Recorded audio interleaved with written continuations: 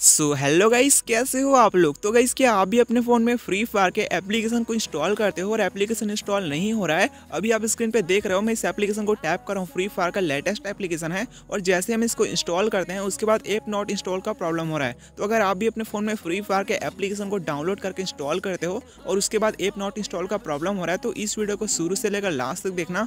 आज की इस वीडियो में आपको मैं बताऊँगा कि फ्री फायर के ऐप नॉट इंस्टॉल प्रॉब्लम को सॉल्व कैसे करते हैं। एंड मैं आपको यही बताऊँगा कि ये प्रॉब्लम आपके साथ क्यों हो रहा है, इसको सॉल्व करने का सबसे ईजी ट्रिक कौन सा है? तो यार वीडियो को शुरू से लेकर लास्ट तक देखना ताकि आपको हर चीज़ अच्छे से समझ में आ जाए। और अगर आप हमारे चैनल पर नया रहो तो पहले वीडियो को लाइक कर देना चैनल को सब्सक्राइब कर देना, ताकि मैं आपको ऐसे ही अच्छे अच्छे वीडियोस देता रहूँ। तो चलिएगा इस वीडियो शुरू करते हैं।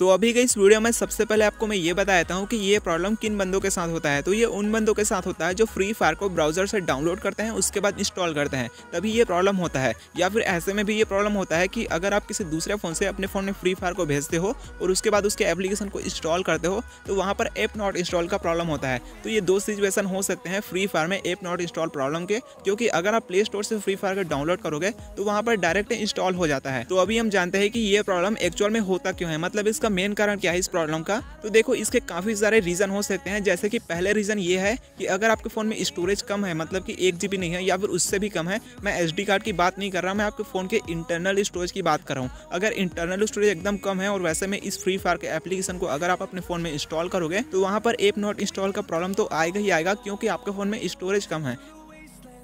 तो आप इंस्टॉल करने से पहले ये चेक कर लो कि आपके फ़ोन में स्टोरेज है या नहीं। अभी हम बात हमारा है दूसरा रीज़न ये हो सकता है कि आपके फ़ोन में जो फ्री फायर का एप्लीकेशन है उसका बिट कम है। मतलब कि आपके फ़ोन में जो भी एप्लीकेशन सपोर्ट करता है वो आपके प्रोसेसर के ऊपर डिपेंड करता है। उसका एक फिक्स बिट होता है वन बिट या फिर सिक्सटी बिट या फिर टू बिट ऐसा बिट रहता है तो उसी टाइप का एप्लीकेशन सिर्फ़ आपके फ़ोन में चलेगा। उसके अलावा कोई दूसरे बिट का एप्लीकेशन डाउनलोड करके अगर आप अपने फ़ोन में इंस्टॉल करोगे तो वैसे में आपके फ़ोन में नहीं चलेगा। समझ लो कि ये आपके फ़ोन में कंपेटेबल नहीं है सपोर्ट नहीं करेगा तो देखो इसके लिए आपको क्या करना है, आपको फ्री फायर के अलग अलग बिट के एप्लीकेशन को डाउनलोड करना पड़ेगा, क्योंकि आपके फ़ोन में जो पहले से एप्लीकेशन है, वो हो सकता है किसी दूसरे बिट का हो तो वैसे में इंस्टॉल करोगे तो एप नॉट इंस्टॉल का प्रॉब्लम तो होगा ही। तो अभी आपको फ्री फायर के अलग अलग बिट के एप्लीकेशन को डाउनलोड करना पड़ेगा, लेकिन आपको ये बात को ध्यान रखना है कि आपको फ्री फायर के लेटेस्ट एप्लीकेशन का अलग अलग बिट को डाउनलोड करना है, क्योंकि अगर आप कोई ओल्ड वर्जन का डाउनलोड करते हो तो वैसे में आपका फ्री फायर समझ लो चलेगा ही नहीं चलेगा तो आपको सबसे पहले क्रोम ब्राउज़र में चले जाना है, या फिर कोई भी ब्राउज़र अगर आप यूज़ करते हो, उसमें आपको चले जाना है,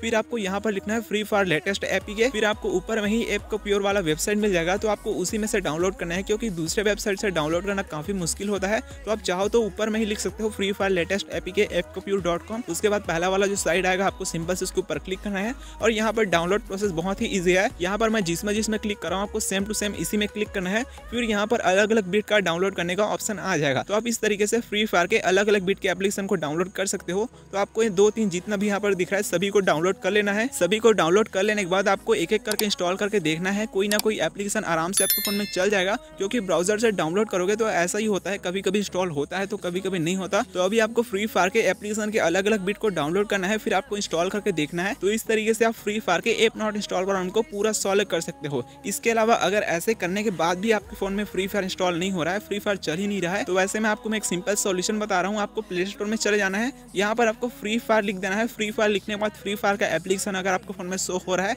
तो आप यहीं से डाउनलोड करो ब्राउज़र का चक्कर छोड़ दो। और अगर प्ले स्टोर में फ्री फायर लिखने के बाद फ्री फायर एप्लीकेशन शो नहीं हो रहा है, जैसे कि मेरे फ़ोन में भी शो हो रहा है फ्री फायर का एप्लीकेशन अगर आपके फ़ोन में फ्री फायर का एप्लीकेशन शो नहीं हो रहा है तो आपका फ़ोन बहुत ही ज़्यादा लो एंड डिवाइस है। वहाँ पर कुछ इस टाइप से आता होगा यूर डिवाइस नॉट कंपेटेबल ऐसा कुछ आता होगा मतलब कि आपके फ़ोन में इसका वर्जन कोई भी सपोर्ट नहीं कर रहा है। तो आप चाहो तो ब्राउज़र से ट्राई करके देख सकते हो, क्योंकि प्ले स्टोर में काफ़ी सारे फ़ोन ऐसे होते हैं, जो अच्छे फ़ोन होते हैं, लेकिन उनके फ़ोन में भी ऐसा प्रॉब्लम होता है। तो आप प्ले स्टोर से एक बार चेक करके देख लेना कि फ्री फायर में इंस्टॉल का ऑप्शन आ रहा है कि नहीं आ रहा है। तो अभी कैसे आपको मैं पूरा सॉल्यूशन बता दिया कि इस प्रॉब्लम को कैसे सॉल्व करते हैं, ये प्रॉब्लम क्यों होता है। तो अगर आपको हमारा वीडियो पसंद आया होगा तो वीडियो को लाइक कर देना चैनल को सब्सक्राइब कर देना, ताकि मैं आपको ऐसे ही फ्री फायर के प्रॉब्लम के सॉल्यूशन को देता रहूँ। तो यार वीडियो को लाइक करो चैनल को सब्सक्राइब करो। तो चलिए मिलते हैं हमारे नेक्स्ट वीडियो पर।